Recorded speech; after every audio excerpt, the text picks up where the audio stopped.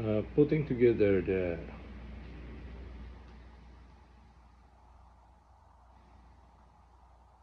the nylon weaving with grommet and the cord plus the washer.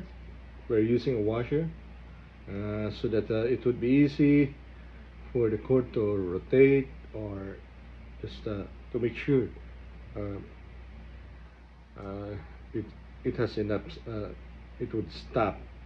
Actually it, it wouldn't pass through in this hole. But uh, I just uh, I just found it's it's nice to have it like it has a it's a bearing. So okay now we'll uh, put together the cord. And the weaving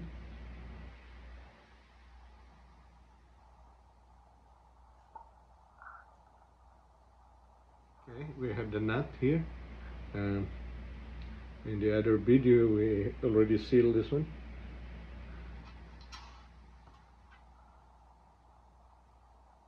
We'll put the washer.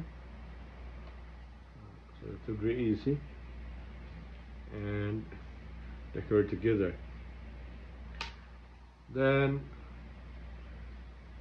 we have to put the tube.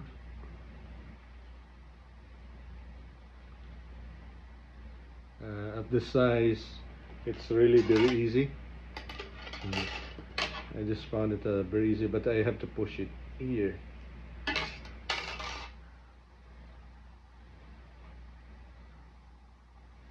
and also install I'm just using the wire.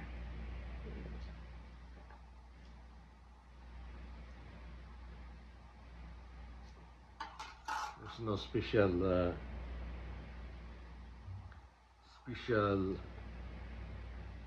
equipment being used for it. And here it is. Here is your initial um, tie cord head and uh, later on we'll install a stopper here and cut this one. The same thing with here. We uh, this one I already uh, seal it.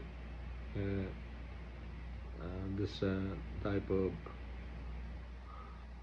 cord and I already put the washer in it. I put it here um, by the way I I cut this one with a scissor. Scissor see? See the difference? You cut it with a scissor not with a hot knife and the other one with a hot knife. The other one is this is very clean. I'll put it together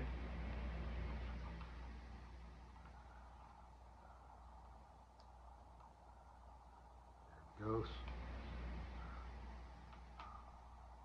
I don't have a, a flyers here right now. I'll just pull it.